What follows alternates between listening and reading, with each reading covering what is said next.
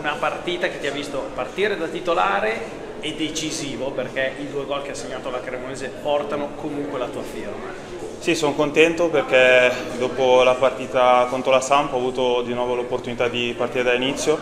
Eh, sapevamo quanto fosse importante questa partita, venivamo da due sconfitte eh, in cui non eravamo riusciti a portare a casa quello che avremmo meritato, però la squadra in settimana ha fatto vedere di aver voglia di reagire e secondo me con questa prestazione si è visto. C'è stato anche un altro momento decisivo all'interno di questa partita che ti ha visto addirittura salvare un gol sulla, sulla linea sì. di porta e non capita spesso di vedere un attaccante con questa propensione anche a dare una mano difensiva.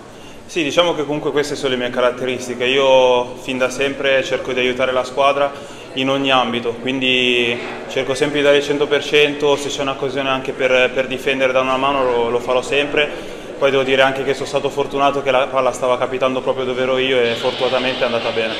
Frank, prima dicevi che in settimana comunque avete avuto la sensazione che questa svolta potesse arrivare. Ti chiedo che giorni sono stati?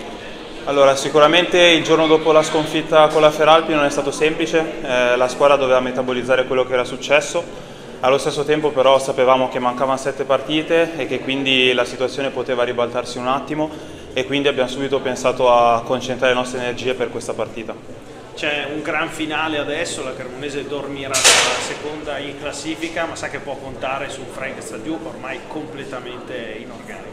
Sì, sicuramente adesso vedremo cosa succederà domani perché ci sono altre avversarie dirette che devono giocare, però mancano sei partite, sono convinto che sia tutto in mano nostra, quindi concentrandoci su noi stessi sono convinto che possiamo fare grandi cose chiedo un'ultima cosa perché nelle scorse settimane è arrivata anche la notizia del prolungamento del tuo contratto, se ci puoi dire, insomma anche questa è una scelta della Cremonese che punta tanto su di te e anche te che vuoi rimanere a Cremona.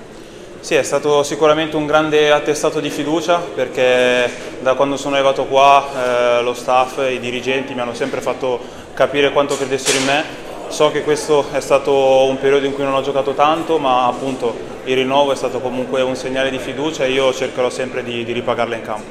Adesso manca solo il gol in campionato. Esatto, arriverà presto. Grazie Frank. Grazie a voi.